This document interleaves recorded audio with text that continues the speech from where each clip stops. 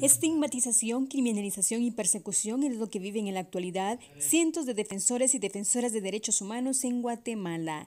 La estigmatización es un mecanismo que utilizan los grupos de poder y algunos medios de comunicación comerciales para deslegitimar a un líder o una comunidad, con el objetivo de tener argumentos legales para reprimir las luchas de los pueblos por la defensa de los derechos individuales y colectivos realmente han sido criminalizados los hombres y nosotras las mujeres hemos sufrido también esa criminalización, pero hoy por hoy tenemos, somos nosotras las mujeres que nos están criminalizando directamente. Como el caso de Río Cristalino, que hay más de 30 mujeres porque son 67 eh, familias que hay en el Río Cristalino que ellos están defendiendo el río, ¿verdad?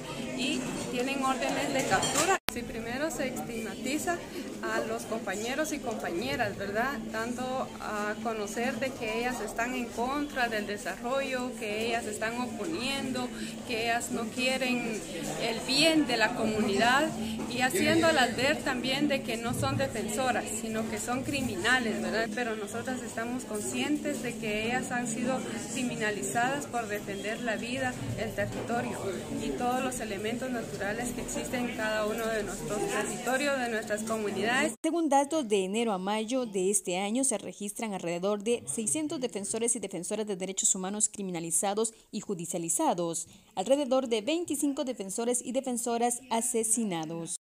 Ante esta realidad y por el derecho a informar y ser informados, el Comité de Unidad Campesina CUC lanza la campaña de prevención y protección a defensoras y defensores de derechos humanos, defendiendo el territorio, cuidamos la vida. Esta campaña es importante para visualizar a nuestros derechos lo que está pasando. muchos en cada región está pasando, es, eh, están intimidando a nuestros dirigentes, dirigentes de cada comunidad que defendemos nosotros nuestra madre tierra y territorio. Eh, tenemos tierras recuperadas, pero a la vez también han sido eh, encarcelados nuestros compañeros y compañeras por defender a la tierra o por recuperar a la madre tierra.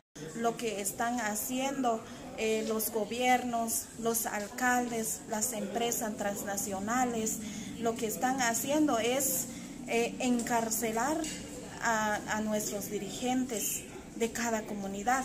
Eh, es importante también que las radios comunitarias que saca esta, eh, esta campaña, que la gente escucha lo que en realidad, lo que está pasando en nuestro país. Muchos medios de comunicaciones no sacan, eh, sacan pues, pero en contra de nuestra dirigente, no es lo que es la realidad. Desde Guatemala para Alba TV, Rosy Cela Pérez.